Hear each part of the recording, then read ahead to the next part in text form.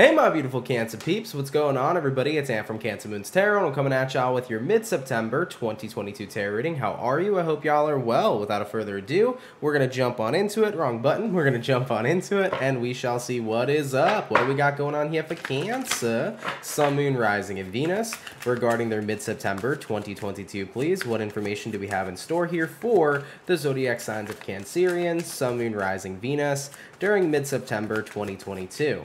Having a look here at your first card out, we do have here the Five of Swords. Taking a look into the next card for you, we also have here the Lovers. And then looking at the last two overall energies present here for you, Cancerian, we also have here the Hangman, and we have here the Chariot, which is you. So we got Cancer energy popping out here with the Chariot. Now, jumping on into your reading here regarding mid-September, let's go ahead and take a look at it. Well, we got here Five of Swords, we got the Lovers, we got the Hangman, and we got the Chariot.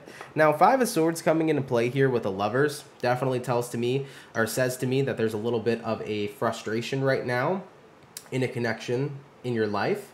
Now, when I reference the word connection, it does not have to specifically be a romantic connection or even a connection to a physical, tangible being like a person. Uh, this could be a connection to yourself your spirit. It could be a connection to your job. It could be a connection to what it is you're passionate about. So I do see frustrations regarding something you're connected to. I think right now you're overall kind of feeling stuck here with the hangman coming into play. Hangman usually symbolizes delays or it symbolizes the energy of kind of feeling stuck and trapped. And with the chariot coming out here, especially being the last card, which is what I do like to see, it's like the energy is you're going to move out of this. So you're going to move out of being stagnant right now. Um, if you've been pretty frustrated, if you've been feeling a lot of resistance right now, in something that you are connected to. Let's say that your relationship recently has had a little bit of its ups and downs, and you've just been frustrated with your relationship. You kind of feel like there's just been a lot of resistance to see positive, impactful change. Then that hard time, that bump in the road, is about to be really smoothed, uh, smoothened over. Excuse me here, and you're going to see forward movement. It's like finally all this uh, stagnancy and all this energy and all this resistance is finally being freed. And it's like I can feel like energies are flowing, things are moving again, and most importantly, I can feel like it's moving in the right direction. You know, this could be the same thing about work. Maybe you feel like if you're a Cancer who's owned your own business, it's like work feels like it's been pretty up and down. You know, if that's the case here for you, you know all this resistance all this frustration it's about to be eliminated. And then now it's going to start to feel like oh everything feels very smoothly again. It feels effortlessly again. You know i could see that everything's starting to get rebuilt in a positive direction so i have nothing else to worry about now going forward. Uh, so cancer any kind of kinks in the road any kind of bumps in the road that you've been experiencing whether it's in your tangible relationships it's in your own personal life it's in your working life you're going to start to see things basically smoothing out here in mid-september 2022 Excuse me. Thank you very much. Do not mind me today, y'all. I have quite a little bit of a scratchy throat, uh, so if I have to clear my throat and or cough, just bear with me, okay? All right, Cancer, so that's what we got here for the overall energies for your mid-month.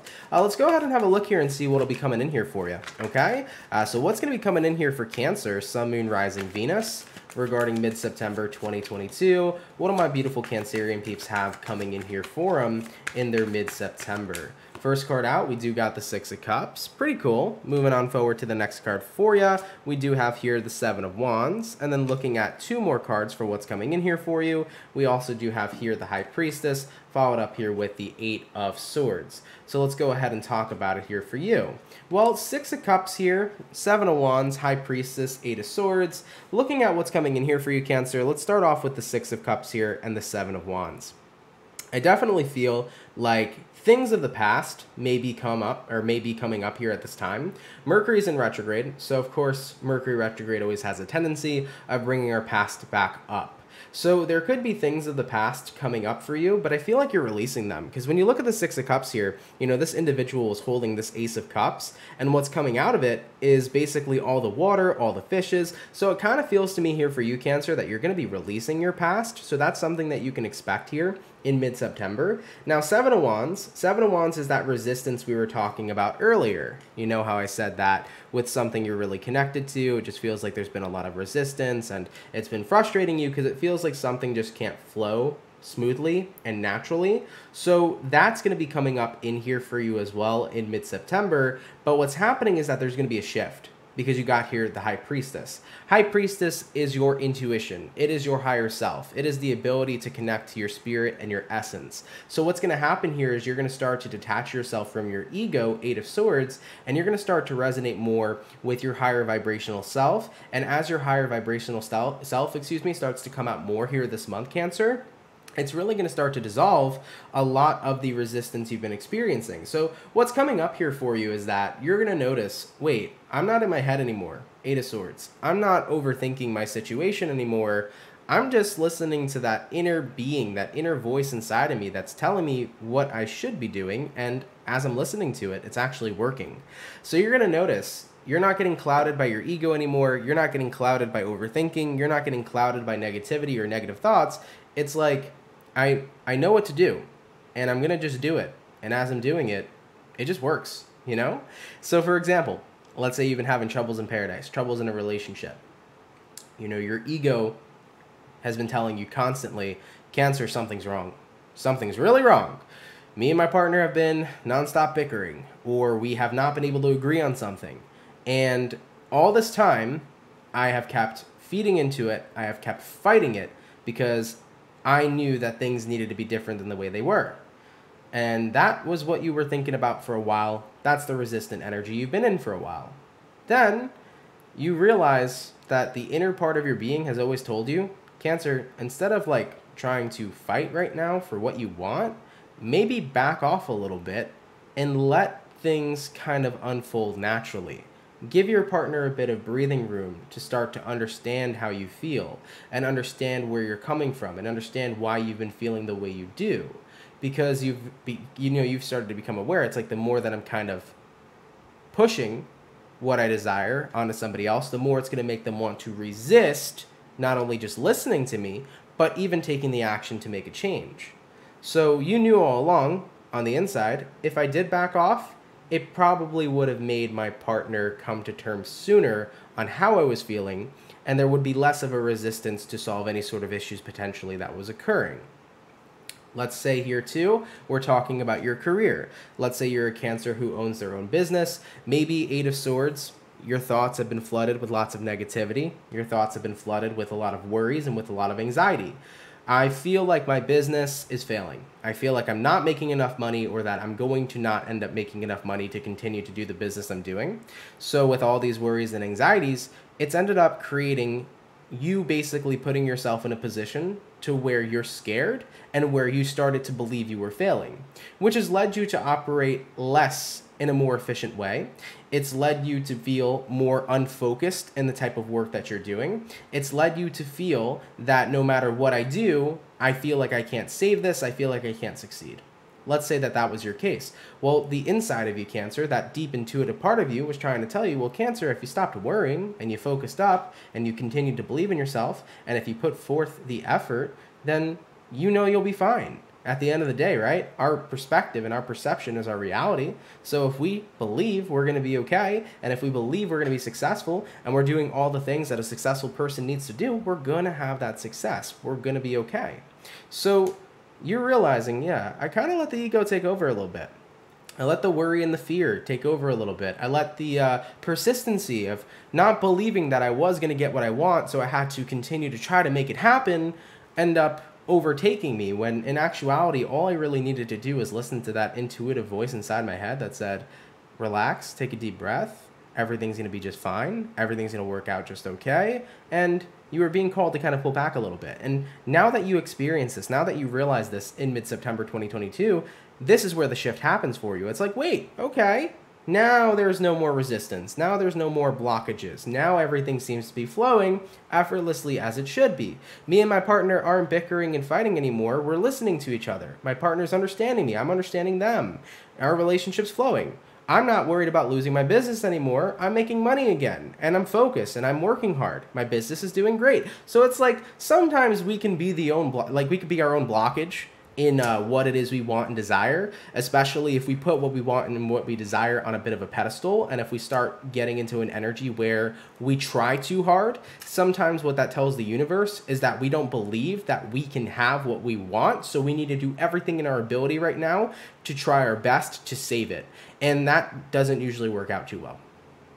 You know? So cancer hopefully i'm making sense so far with this video. Not entirely sure if uh, the words that i am saying resonates or if it's understandable but hopefully throughout the rest of the video the insight that i do provide uh, will make more sense for you. So that's what i see coming in here for you cancer. I think that you know you're, you're still going to be dealing with lots of resistance but i think that you're also going to be getting moments of the past coming up here for you too this month that you're going to need to purge out and release. Uh, but you're also going to be noticing what's coming in here for you more specifically is finally listening to that higher vibrational side of yourself. Finally listening to what your intuition's been telling you all along. Like Cancer, you got to quit the worrying. You know, Eight of Swords. You got to really detach from the ego right now and realize that you're okay. Realize that everything's going to be just fine. It's like the more that you've been putting energy into this worry, the more it's been creating resistance to get what you've wanted all along.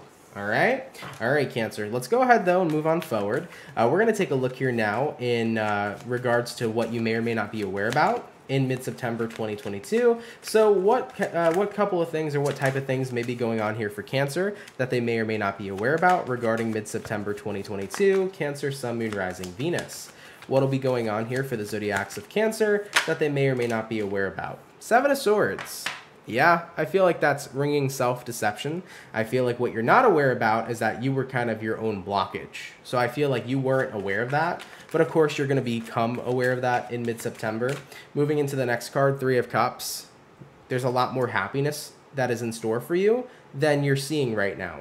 There's a lot more good things going on right now than you are perceiving. Remember, where your attention goes is where energy flows. So if your attentiveness is only focused on things that are making a, ne a negative impact, you're only literally having a negative, you know, perspective of what is going on in your life the more that you tend to look at the positive things or the things that are going well for you in your life, the more positive energy you're drawing in, the more positive experiences you're drawing in. So remember, where attention goes is where energy flows. And looking at two more cards here for you, we have the Nine of Pentacles, and then we do have here the Ten of Swords. Uh, so having a look at this as well for what you may or may not be aware about. You may not be aware that you're in this direction right now where if something is going to come to an ending, it's going to come to an ending at the hand of yourself. And I know that that sounds deep. I know that sounds intense. I know that that can be really hard to see. So, for any Cancer who's watching, of course, if this is not resonating to you, don't apply this into your life because I know that hearing that can be pretty triggering for some people, right? Hearing that, well, if something's going to end, it's going to end because of you. Like, no one wants to hear that. Uh, but sometimes these are certain things we need to hear because if we're standing in our own way, if we're pushing ourselves away from the success that we want, we have to be able to take accountability for what we're doing wrong so that we cannot stand in the way of ourselves any longer and so that we can continue to flow in the direction we wish to. So, Cancers, jumping into mid September 2022, you know, for those of you that are like, I've been having tons of resistance in my relationship, well, what has your intuition been telling you all along? You know, has your intuition been saying, you know, there's no reason to worry right now about your relationship? There's no reason either to be constantly persistent about what you want because what you want and what you desire, there's a solution there for both of you to get on board, for both of you to understand how to uh, get into a better place of communication. But it's going to require backing off a little bit, right? The more you try to kind of push something onto somebody, it's like the more they want to resist let's say in, in regards to work and you own your own business you know? If you've been constantly worried that you're failing and that your business is going to come to an ending and if you've been constantly believing that you know no matter what i can't save my business i'm doing everything that i can to save it but i feel like it's still going downhill it's like all these thoughts and all this energy you've been putting into it has been pushing it in that direction. So as soon as we realize that we need to stop standing in the way of ourselves that's how we avoid ending the things we care about. So I think that that's something that was kind of like a very big uh, shock element that you'll be experiencing here when you do realize all this, when you do realize that you've kind of been standing in the way of yourself. And, uh, you know, you will come to terms here too with the Three of Cups. That's like, there is actually a lot of good things going for me right now in my life too that I probably should invest a little bit more of my attention and of my energy into. So I do see that happening here for you. All right. Now moving along forward here for you, Cancer, we're going to go ahead and have a look here now and see what you can expect throughout the rest of mid-September 2022. What can my Cancerian peeps expect now, please, throughout the rest of their mid-September? Cancer, Sun, Moon, Rising, Venus. What can my Cancerian peeps expect now throughout the rest of their mid-September? First card out, we got the Ace of Wands. Hello. Things are moving in a new direction for sure, and I also feel like things are getting reignited. What I mean by this for you, Cancer, is that now that you're not, not in the way of yourself, now that there's literally zero blockages, it feels good. You're passionate again, the spark has been reignited, I feel good, everything's moving, and it's moving in the direction that I wish it to be moving into. Moving into the next card, we got the Wheel of Fortune. It's like, oh my god, my life did a 180 right now. Uh, so you really feel like your life did a whole 180 degree everything is turning in your favor. Things are going back to the way that they were, but actually, in a sense, they're even better. You do got here the Page of Cups, and then looking at the last card for you, we have here the Queen of Wands, which is about like kind of getting your confidence back here too. Uh, so Cancer, you know, you found your groove again. You know, it's kind of like how Stella got her groove back. It's like Cancer, like you got your groove back here as well. So Ace of Wands here, Wheel of Fortune, we got here the Page of Cups, and we got here the Queen of Wands. You know, it's a whole 180 degree. I went from struggling to everything is working out again. I went from constantly babbling with my partner and trying to get on the same page with, with them, and then now I finally am on the same page with them. I went from, uh, you know, struggling at my job and uh, thinking that everything's to fail to realizing that it actually never was at all and that I am quite successful, you know? So a lot of your perspectives here are changing, especially if you've been kind of in this doomy, gloomy mentality. Uh, give me one sec actually to talk about this because I think it's important. I've been in this mentality many, many times in my life as a cancer. And what I like to call it is I like to call it the doomed mentality. Sometimes we get stuck in these thoughts of impending doom where we believe that there is not going to be a light at the end of the tunnel. There is not going to be one positive thing that comes from what's happening. What you loved and cared about is just going to end. So it's like you're waiting for doomsday, you know? So when we get stuck in the doomed mentality, it's very hard to recognize sometimes that maybe we were never doomed at all. Maybe this whole time, whatever we were doing had the ability to still continue to grow. But because we've made ourselves believe that something will not grow, it's just going to end, and it's going to end, and it's going to suck, and you're never going to see what you love or care about again, when we choose that, we stand in the way of ourselves even more, and we push ourselves off the cliff to end the things that we care about. So that's why it's very important to recognize sometimes when we are in the doomed mentality, because the more that we're involved in that, the more we're going to stand in front of our own way and basically push away the things we care about. So if we always realize that there's no such thing as doomsday, there's no such thing as the doomed mentality, and that we can truly, uh, well, I mean, there is such thing as the doomed, menta- the doomed mentality, right? But it's a mentality that ends up being self-deceptive. If we can recognize that we truly aren't doomed if we choose not to be, then we can make these shifts and changes. So cancers, it's like as soon as you realize I've been standing in my way, I've been shooting my own self in the foot, it's like, all right, I can fucking start to breathe again. I can start to make my life go good again. And you start to get your confidence back here, most importantly, right? With the Queen of Wands, which is what I love to see here for you.